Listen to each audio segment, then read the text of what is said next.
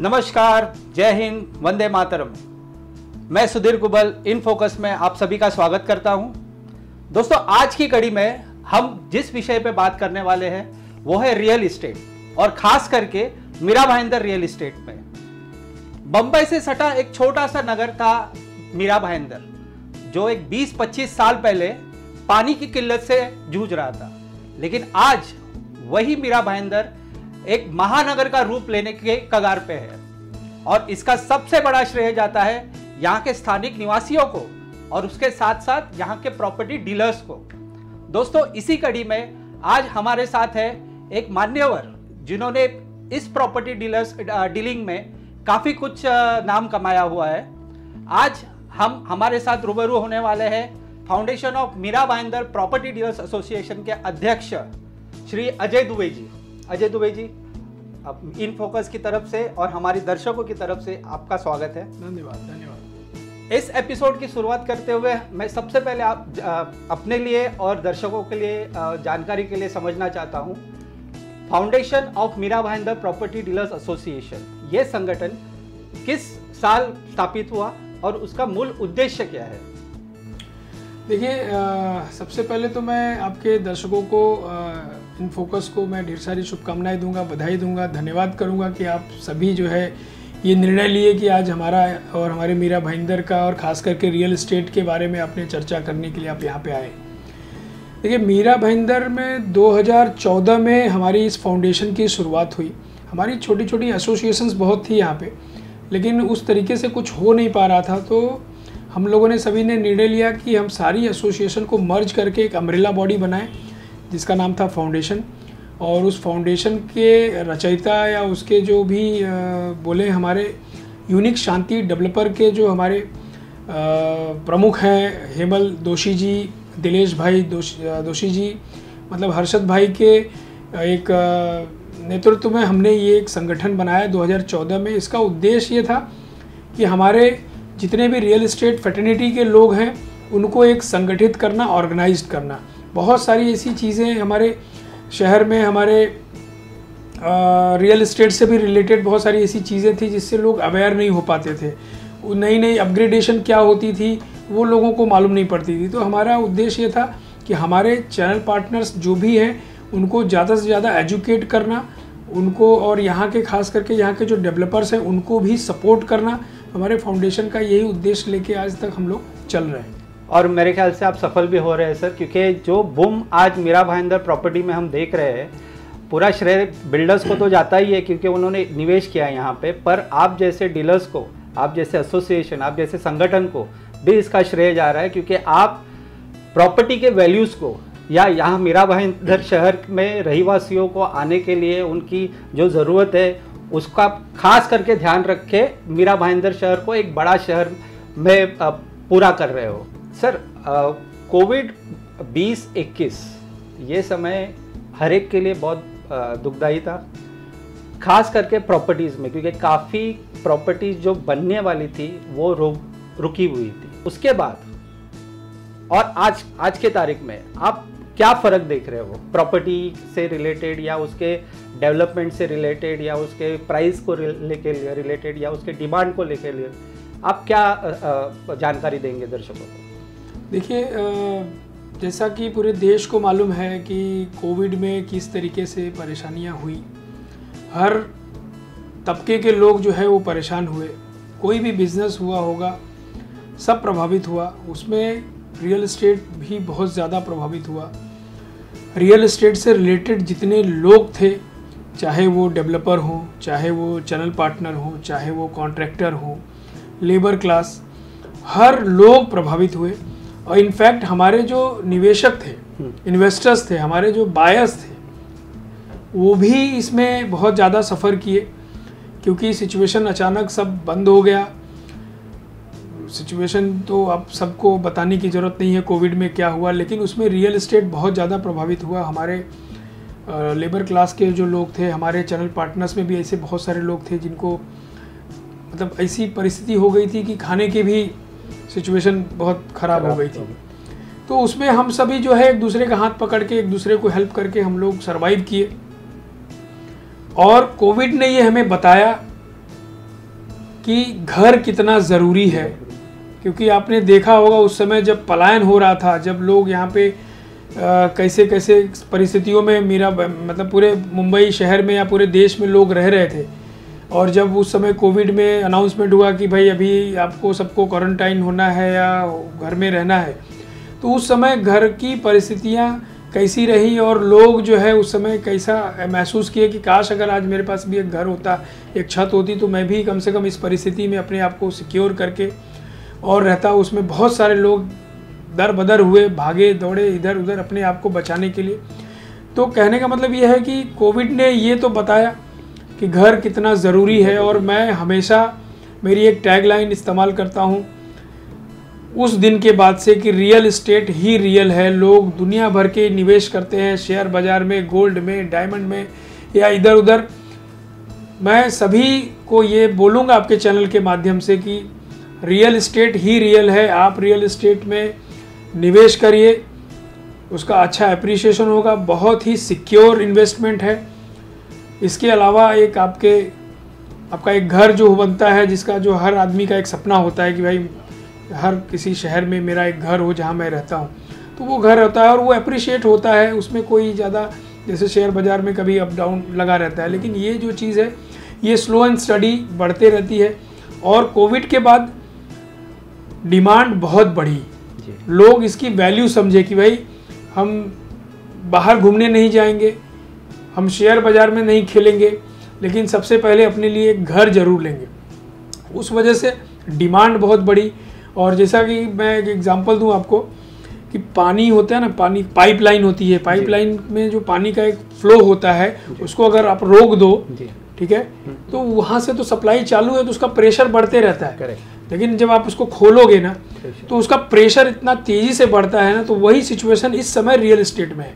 कि जो दो ढाई साल जो माहौल बंद था, मार्केट बंद थी तो अचानक जब कोविड खुला तो इस चीज़ की डिमांड बढ़ी। तो आज इस समय हमारे, खास करके हमारे मुंबई, महाराष्ट्र और मैं बात करूँगा हमारे मीरा भाईंदर शहर में, इतनी अच्छी और इतनी ज़्यादा डिमांड है। बड़े बड़े डेवलपर्स आज यहाँ पे निवेश कर रहे हैं। बड़े बड़े इन्वेस्टर्स जो आज सबब में जो लोग रहते हैं, वो आज यहाँ पे पलायन कर रहे हैं, क्योंकि जिस तरीके का यहाँ पे ये हमारा सिटी डेवलप हो रहा है मीरा भाईंदर। यहाँ पे डेवलपमेंट के बारे में बहुत सारी चीज़ें यहाँ पे है। इस वजह से आज यहाँ पे डिमांड ज़्यादा है उसी हिसाब से सप्लाई भी ज़्यादा है और बिल्डर पूरी कोशिश कर रहे हैं कि हमारी जो सप्लाई है उसको वो पूरा कर सके। सर इकोनॉमी में जनरली एक सिखाया जाता है कि डिमांड सप्लाई को लाइन को जो इंटरसेक्ट करता है वो आपका प्राइस डिसाइड करता है। हम्म। मीरा भाईंदर का आज की जो परिस्थिति है जैसे आपने कहा कि डिमांड काफ़ी बढ़ गया है, उसी तरह सप्लाई भी अच्छा खासा हो गया हुआ है। तो उसको आज के तारीख में ये जो रेट्स है, वो मैच कर रहे हैं? नहीं, बिल्कुल मैं बताऊँगा कि मीरा भाईंदर का जो रेट है, वो हमेशा से स्टेबल रहा है। कभी यहाँ पे हाई टाइड नहीं आई। अचानक रेट हो गया बहुत ज़्यादा और फिर इसके बाद हल्का सा रिसेशन आया तो मार्केट डाउन हो गई। मैं आपको बताऊँ, कोविड जैसे महामारी सिचुएशन में भी मीरा भाईंदर का रेट जरा भी हिला नहीं। क्यों? क्योंकि यहाँ पे एक स्टेबल मार्केट है। बहुत ज़्यादा हाइप क्रिएट करके और रेट बढ़ा देना ऐसा कुछ नहीं है और हम लोगों का भी इसमें बहुत बड़ा रोल है। हम जो हमेशा रेट को जो है ना रेगुलरेट करते रहते हैं कि भाई मार्केट में कोई भी डेवलपर अनाप शनाप रेट अगर माँगता है तो हम भी उससे बात करके, चर्चा करके बताते हैं, और आज की तारीख में मार्केट में वही माल बिक रहा है जो एकदम रिजनेबल हो, मार्केट के अकॉर्डिंग हो। तो मार्केट में जो भी मीरा भाईंदर का रेट रहा है, एकदम स्टेबल रहा है, और उसमें, और उसका यही कारण है कि मीरा भाईंदर की मार्केट भी हमेशा स्टेबल रही है और हमेशा चलती रही है। अजय जी ने काफ़ी अच्छी बात कही कि यही वो रेगुलेटिंग बॉडी है जो प्राइजेस को कंट्रोल करती है। वो एक आद, आम आदमी जो होता है, जो अपना घर लेने का सपना देखता है, उसको फुलफिल करना या उसको पूर्ण करने का पूरा श्रेय प्रॉपर्टी डीलर्स को जाता है मीरा भाईंदर के। अजय जी, आगे बढ़ते हुए मैं एक जानना चाहता हूँ कि अभी जो इंफ्रास्ट्रक्चर यहाँ पे काफ़ी बड़ा हुआ है। तो जैसे मेट्रो आ रही है साथ साथ में अगर आपने देखा डबल डेकर जो अपने पूल्स आ रहे वो आ रहे उसका ये जो रियल इस्टेट के प्राइजेस है, उसके ऊपर कोई असर होने वाला है? जी हाँ बिल्कुल असर होने वाला है और इसका श्रेय मैं हमारे यहाँ की प्रशासन को दूँगा, हमारे पूर्व चीफ मिनिस्टर प्रेजेंट के जो डेप्यूटी चीफ मिनिस्टर आदरणीय श्री देवेंद्र फडणवीस जी, जो हमारे मीरा भाईंदर के डिमांड के हिसाब से उन्होंने यहाँ पे जो मेट्रो का सेंक्शन किया, उसका बहुत एडवांटेज हमारे पूरे शहर को होने वाला है।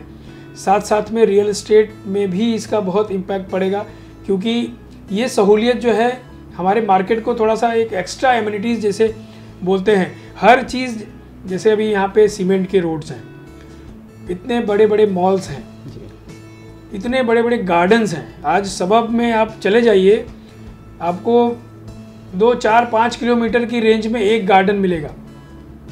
मीरा भाईंदर की एक खासियत है कि आपको एक एक किलोमीटर की रेडियस में कम से कम पाँच गार्डन मिलेंगे। और वैसे वैसे गार्डन नहीं कि छोटा सा मतलब एंटर किया और ख़त्म। उसमें सारी व्यवस्थाओं के साथ इस तरीके का यहाँ पे एम्यूनिटीज़ है? आप यहाँ पे मॉल देखेंगे तो एक दो किलोमीटर की रेंज में काफ़ी मॉल्स हैं। मैकडोनल्ड्स डोमिनोज़ या इस तरीके के आउटलेट्स जो है ऐसा नहीं है कि एक किलोमीटर दो किलोमीटर की एक रेंज में एक है। आधे किलोमीटर 200-500 मीटर की रेंज में एक एक दो दो चार चार हैं। स्कूल्स कॉलेजेस सब एकदम इंटरनेशनल क्लास का स्कूल यहाँ पे राहुल इंटरनेशनल स्कूल जो आज अपने आप में एक बहुत बड़ा है सेवन स्क्वायर स्कूल है दालमिया है रॉयल कॉलेज है। मतलब जो नाम लोगे ब्रांड स्कूल का वो है कॉलेजेस है। मतलब क्या नहीं है मीरा रोड में? अभी आपको मैं बताऊँ हमारी एक टैगलाइन चल रही है कि मीरा भाईंदर में क्या नहीं है। मतलब ऐसा कुछ नहीं है जो मीरा भाईंदर में नहीं है और बहुत मतलब बल्क में है। मतलब अगर आप मॉल देखेंगे तो लाइन से है स्कूल्स देखेंगे तो लाइन से है। हॉस्पिटल्स आज हमारी जो मीरा भाईंदर की जो स्ट्रेंथ बढ़ते जा रही है, उसकी वजह से उसको, उसके हिसाब से हमारे को हॉस्पिटल्स भी चाहिए। तो हॉस्पिटल भी यहाँ पे सरकारी हॉस्पिटल एक टेम्बा हॉस्पिटल है। अब अगर आप उसमें विज़िट करेंगे तो आपको लगेगा नहीं कि वो सरकारी हॉस्पिटल है। इस तरीके से उसको मैनेज किया हुआ है। कोविड के बाद उसको अपग्रेड किया। इसके अलावा और बहुत सारे हॉस्पिटल्स यहाँ पे वोकार्ड जैसे हॉस्पिटल, भक्ति वेदांता जैसे हॉस्पिटल, तुंगा जैसे हॉस्पिटल, ऐसे तमाम हॉस्पिटल्स हैं। तो यहाँ पे हर चीज़ जो है भरपूर मिली है और उसके लिए मैं पूरे महा महानगर पालिका यहाँ के कमिश्नर, यहाँ के विधायक, यहाँ का पूरा प्रशासन को मैं धन्यवाद करूँगा कि जिस तरीके से मीरा भाईंदर में इतनी सारी फैसिलिटीज़ सीमेंट के रोड आप, मैं बता रहा हूँ आपको कि दो साल के बाद आपको कहीं पे भी नॉर्मल डामर वाली रोड नहीं दिखेगी। यहाँ तक कि गली कूचे में भी हमारे यहाँ पे प्रशासन जो है, उसको सीमेंट पूरा सीमेंट का रोड बना रहा था तो इंफ्रास्ट्रक्चर बहुत हाई है। सबब में आप ये बोल सकते हैं कि सबसे फास्टेस्ट ग्रोइंग सिटी जो है वो हमारा मीरा भाईंदर है।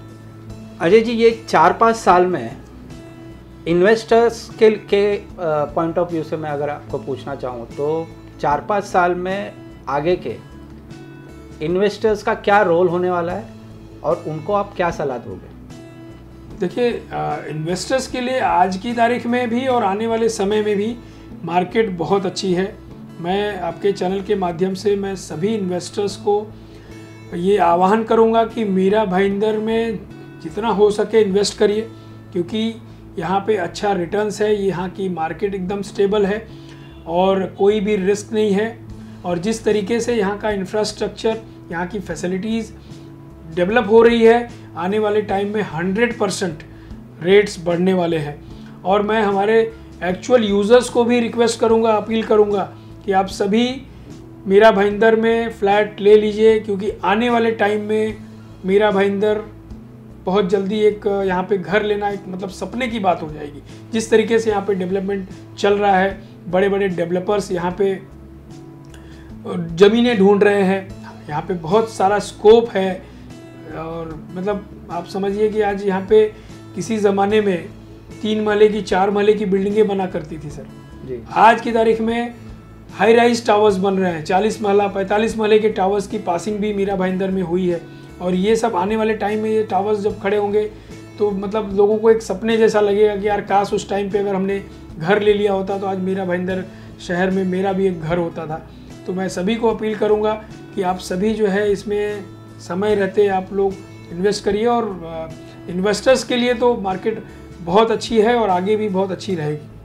अजय जी, ये जो अभी इंफ्रास्ट्रक्चर से रिलेटेड आपने बातें बताई इन्वेस्टर्स को आपने अपील किया हुआ है एंड यूज़र्स को आपने अपील किया हुआ है तो एक बात की जानकारी आपसे चाहिए थी कि जब कोई भी बिल्डिंग बनती है, और जैसे मैंने शुरुआत में कहा था कि मीरा भाईंदर पानी की किल्लत से जूझ रहा था, अब जब ये सब स्ट्रक्चर्स खड़े हो रहे हैं, जैसे आपने अभी कहा कि हाई राइज बिल्डिंग्स आ रही है काफ़ी डेवलपमेंट्स हो रहे हैं। तो आगे चल के फ्यूचर में पानी की किल्लत ना हो ऐसा कोई आश्वासन आपको शासन की तरफ़ से आया हुआ है या आप दर्शकों को बताना चाहते हो जो एंड यूज़र्स है? जी बिल्कुल मैं आपको बता दूँ कि जो आपने बोला कि मेरा भाईंदर एक ज़माने में पानी की किल्लत से जूझ रहा था हंड्रेड परसेंट ये बात सही है। उस समय पानी की बहुत किल्लत थी और मच्छर की भरमार थी। जी। अगर मैं आपको बताऊँ 90 की बात मैं इस फ़ील्ड में 90 से मैं मीरा भाईंदर में हूँ 90s में इसी जगह पे यहाँ से बैठ के मुझे शांति नगर सेक्टर पाँच दिखता था बाकी पूरा तालाब पानी से भरा हुआ जो पी नहीं सकते हम। और उसकी वजह से मच्छर की भरमार अगर हम दो मिनट अगर बात कर ले तो कम से कम सौ मच्छर मुँह में घुस जाते थे। वो भी ज़माना था। और आज की तारीख में हमारे शहर में पानी की कोई किल्लत नहीं है। बहुत अच्छा पानी की सप्लाई हो रही है प्रशासन की तरफ़ से। और आपकी जानकारी के लिए बता दूँ आपके दर्शकों के लिए बता दूँ कि मीरा भाईंदर में आने वाले टाइम में 24 फोर बाई सेवन पानी की व्यवस्था का कमिटमेंट हमारे नगर पालिका और यहाँ के जो भी हमारे जनप्रतिनिधि हैं उनके माध्यम से किया गया है। आपको शायद पता होगा कि सूर्या डैम का जो प्रकल्प जो चल रहा है बहुत जल्दी साल दो साल डेढ़ साल के अंदर वो फिनिश हो जाएगा कनेक्शन हो जाएगा। मीरा भाईंदर में जिस तरीके से नगर पालिका हमको अगर 40 महला 45 महले की बिल्डिंग बनाने की परमिशन दे रही है तो जवाबदारी भी उसकी बनती है कि वहाँ पे रहवासियों को पानी भी मिले। तो उन्होंने सारी व्यवस्थाओं को ऑलरेडी किया हुआ है उसी के हिसाब से उसके अकॉर्डिंग हमारे शहर का डेवलपमेंट हो रहा है क्योंकि वो एक जिम्मेदार लोग हैं। नगर पालिका की की ज़िम्मेदारी है कि आप जितने भी शहर में लोगों को बसा रहे हैं तो उनको सड़क बिजली पानी, पानी। जो भी शिक्षा ये सारी चीज़ों की व्यवस्था उनको करनी है और वो भरपूर उनकी सारी प्लानिंग है। और मुझे लगता है कि डेढ़ साल दो साल के बाद मेरा भाईंदर में बहुत भरपूर पानी होगा जहाँ पे कोई किल्लत नहीं होगी। जब नल खोलेंगे तब पानी मिलेगा। अजय जी एक और बात समझना था मुझे कि एज अ प्रॉपर्टी डीलर्स आप जब एक कोई चैनल पार्टनर बनते हैं तो चैनल पार्टनर्स के सामने क्या क्या चुनौतियाँ होती है? क्या चैलेंजेस होते हैं? देखिए आज की तारीख में बहुत सारे जैसा कि आपको मैं बताऊँ कि पहले रियल इस्टेट के जो चैनल पार्टनर्स हुआ करते थे वो जस्ट उनको कोई रिकॉग्नाइज नहीं करता था। अगर सपोज़ हम कहीं लोन लेने जाएँ तो बोले क्या प्रोफ़ाइल है? तो बोले हम रियल इस्टेट में हैं। तो बोले नहीं नेगेटिव okay. ऐसे बहुत सारी समस्याओं से हम लोग जूझते थे। हमको क्रेडिट कार्ड नहीं मिलता था हमको कार लोन नहीं मिलता था हमको हाउसिंग लोन नहीं मिलता था। Okay. लेकिन इस इंडस्ट्री की ताकत ये है कि इसमें पैसा बहुत लोग कमाए। गवर्नमेंट को भी दिखता दिखता रहा कि यार लोग मतलब कंटिन्यू जो है इसमें ग्रो कर रहे हैं इनकम है इनकी। तो गवर्नमेंट ने ना इसको रिकोगनाइज किया। इसकी भी एक रेगुलेटरी बनाई जैसे कि रेरा जिसको बोलते हैं। तो हमको भी ना रेरा का जैसे आपको एडवोकेट होगा। तो उसको एक रजिस्ट्रेशन नंबर उनका होता है। बार काउंसिल डॉक्टर्स होते हैं उनका भी एक रजिस्ट्रेशन नंबर होता है। चार्टेड अकाउंटेंट होते हैं उनका भी एक नंबर होता है। वैसे ही गवर्नमेंट ने मैं गवर्नमेंट को इसके लिए थैंक यू बोलूँगा कि उन्होंने इस इंडस्ट्री को भी रिकॉग्नाइज किया और उन्होंने भी हमको एक रेरा नंबर दिया जिसको हम बोल सकते हैं कि भाई ऑथराइज्ड लोग हैं जो इंडस्ट्री में काम कर रहा अब रेरा आया तो रेरा के साथ बहुत सारे ऐसी कॉम्प्लिकेशंस भी आई बहुत सारी ऐसी नई नई गाइडलाइंस भी आई जो मैं हमेशा एक मेरा भाईंदर शहर का एक नेतृत्व करता हूँ हमारे रियल इस्टेट पार्टनर्स का चैनल पार्टनर्स का तो मैं हमेशा उनको ये बोलता हूँ कि भाई आप अपने आने वाले जो भी चैलेंजेस हैं उसको आप हमेशा उस चैलेंज को लो अपग्रेड करो अपने आप को। तो अभी रेरा की एक नई गाइडलाइन हमारे लिए फिर से आई है। पहले तो रेरा आया था सभी ने ले लिया। जी। और जो भी नहीं लिए हूँ मैं आपके चैनल के माध्यम से बोलूँगा हमारे सभी चैनल पार्टनर्स को कि आप सबसे पहले रेरा ले लीजिए। क्योंकि आप अगर ड्राइविंग करते हो तो ड्राइविंग तो आपको ड्राइविंग लाइसेंस की ज़रूरत पड़ती है। वैसे ही अगर आप रियल इस्टेट का काम करते हो तो आपको रेरा लेना बहुत ज़रूरी है। दूसरा अभी गवर्नमेंट ने ये डिसाइड किया है कि अभी रेरा हम उनको ही देंगे जो एजुकेटेड होंगे। एजुकेटेड मतलब अभी रेरा ने एक नया गाइडलाइन लाया है जिसको एक 20 घंटे की ट्रेनिंग होगी। अभी सपोज़ अगर मुझे रेरा नंबर फिर से लेना है तो मुझे एक 20 घंटे की ट्रेनिंग करनी पड़ेगी। रेरा के कुछ ऐसे रूल्स रेगुलेशंस उसकी कुछ गाइडलाइंस ऐसे कुछ उसके एजुकेशन जैसे कुछ टॉपिक्स है उसको मुझे पढ़ना पड़ेगा। जी। वो हम पढ़ लेंगे 20 घंटे की हम ट्रेनिंग ले लेंगे।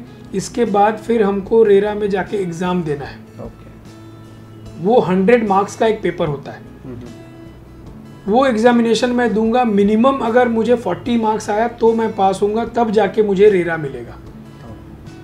तो मैं आपके चैनल के माध्यम से हमारे सभी दर्शकों को खास करके हमारे रियल इस्टेट ब्रोकर्स को जो हमारे पूरे मुंबई शहर में पूरे महाराष्ट्र में है हम्म, उनको ये बताना चाहूँगा कि आप सभी ये कोर्स ज़रूर करें और उस एग्जामिनेशन में पास होंगे तभी आपको रेरा मिलेगा और जब आपको रेरा आपका रिन्यूअल होगा तभी जाके आप किसी भी डेवलपर का माल बेच सकते हैं। तभी आप ऑथराइज हो सकते हैं उसके पहले नहीं हो सकता और इसकी डेडलाइन जो है वो सितंबर एंड ये सितंबर तक का डेडलाइन है उसके अंदर अंदर जो है अपने को ये पूरा प्रोसेस करना है। तब जाके हम अपने और ऐसे बहुत सारे चैलेंजेस हमारे रियल इस्टेट में अपग्रेडेशन बोल सकते हैं चैलेंज नहीं बोल सकते सॉरी अपग्रेड करना है अपने को और अपने को अपग्रेड करने में कहीं पीछे नहीं रहना है। हमारे सभी चैनल पार्टनर्स जो है अपने आप को आए दिन जो भी नई नई चीज़ें आ रही है उससे अपने आप को अपग्रेड करके और आगे बढ़े। अजय जी बहुत बहुत धन्यवाद। आपके माध्यम से हमने आ, रियल इस्टेट जो डीलर्स है प्लस हमारे दर्शक प्लस इन्वेस्टर्स उनको जो आपने मार्गदर्शन दिया हुआ है उसके लिए हम बहुत बहुत धन्यवाद कहते हैं आपको। Thank you so much thank you